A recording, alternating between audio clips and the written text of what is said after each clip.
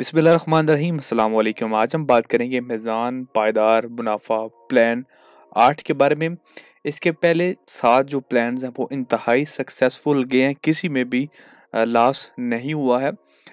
मैं एक चीज़ आपको यहाँ पे क्लियर करता चलूँ कि ये एक लो रिस्क इन्वेस्टमेंट है, यानी कि जिसके अंदर आपका नुकसान होने के चांसेस काफ़ी हद तक कम होते हैं चांसेस होते हैं, लेकिन जो पिछले सात प्लान इनके हुए हैं जो कि अभी आठवां प्लान चल रहा है, इसमें पहले साथ में किसी का कोई नुकसान नहीं हुआ है।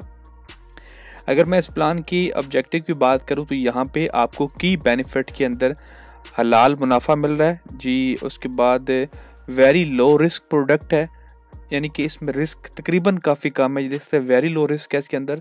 Suitable for investors looking for short term investment horizon यानी कि जो शार्ट टर्म इन्वेस्टमेंट के बारे में सोच रहे हैं, उनके लिए बहुत ही ज़्यादा बेनिफिट है ये।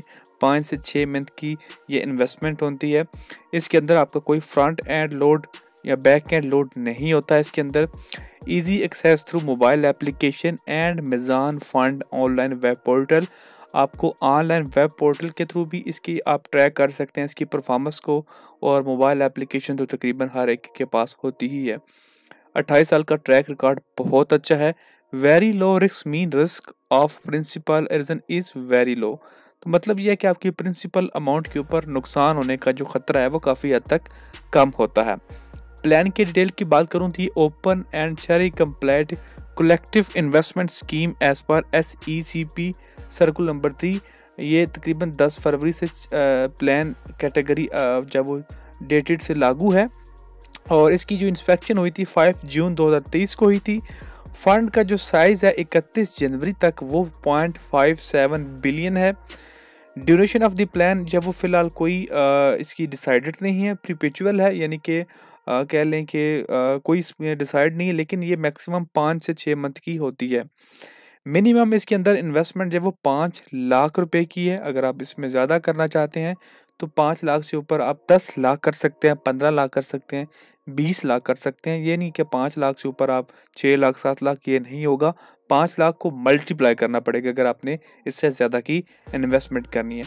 कंटेनियर लोड की बात करें, यानी कि अगर आप वक्त से पहले पैसे निकलवाते हैं, क्योंकि ये एक टर्म डिपॉजिट स्कीम है, यानी कि आप अपने पासों, पैसों को लाक करवा देते हैं फिक्स करवा देते हैं कुछ अरसे के लिए जो कि लिमिटेड टाइम है और शार्ट टाइम के लिए इन्वेस्टमेंट होती है।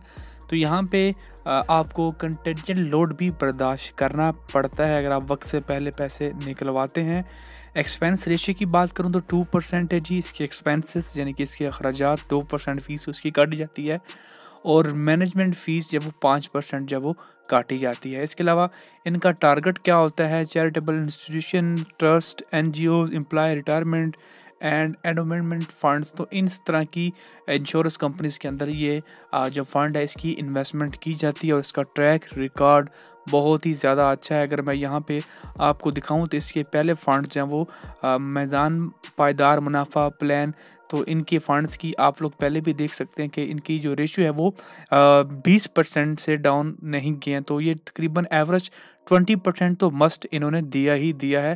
तो इसके अंदर इन्वेस्ट करके आप जो है वो तकरीबन आपके हाई परसेंट चांसेस हैं कि आपको यहाँ से अच्छा रिटर्न देखने को मिलेगा। उम्मीद करता हूँ आपको वीडियो अच्छी लगेगी। वीडियो अगर अच्छी लगी तो लाइक और शेयर करना मत भूलिएगा। शुक्रिया।